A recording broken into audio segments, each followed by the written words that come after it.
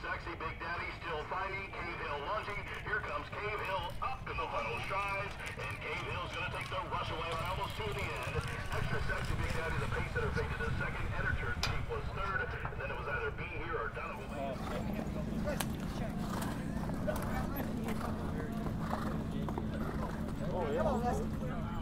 I'm gonna take a couple, okay? Alright, everyone looking right here.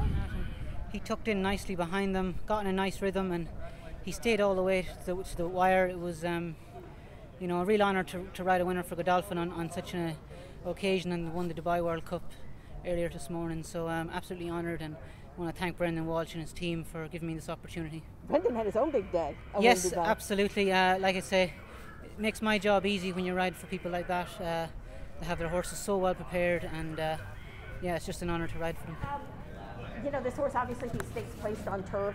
It, this just, this just looked like a nice spot with the synthetic here to.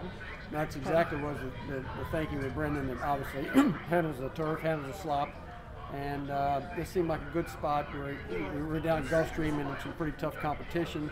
Uh, he's a progressively improving physically and mentally, and uh, Brendan felt like you know this distance would be great for him, and uh, you know it's a little bit of a gamble as far as how you're going to handle this new surface, but uh, as the jock said a little early on, climbing up and down, but settled down nicely in the backside, made a lovely kick turn for home, and proved to be the best. So great for Frosted, uh, a nice progression for this colt, and let's hope we can continue on this ladder.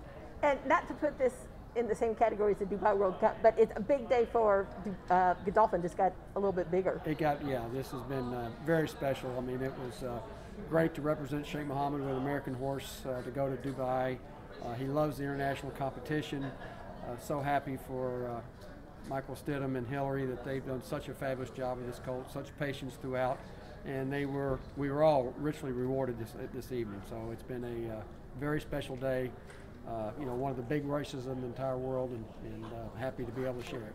This horse here, would something like the American Turf on Derby uh, weekend make sense? Well, we'll we'll, let, we'll see where we get to. This was this was kind of a, a stepping ladder to see if we could handle. You know, becoming a stakes winner is, is very important, obviously for Sire and Frosted, and we'll uh, we'll just kind of see where the dust settles and, and see what level we want to take a next step in. But this was a very good progressive step forward.